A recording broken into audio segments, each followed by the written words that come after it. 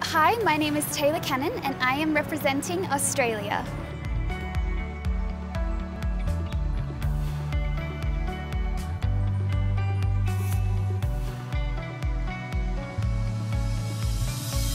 I am a proud Queensland girl living on the beautiful Gold Coast where we have some of the most incredible beaches, countryside and rainforests. We host many events including the Commonwealth Games and other international events. Fun fact about the Gold Coast is that we have 300 days of sunshine a year. Since I could walk, I've been chasing after animals which led me to study vet nursing and I have plans to continue on to vet science.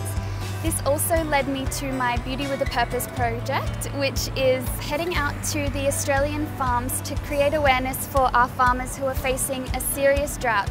We are currently facing an international crisis which is affecting our farmers and we need immediate support.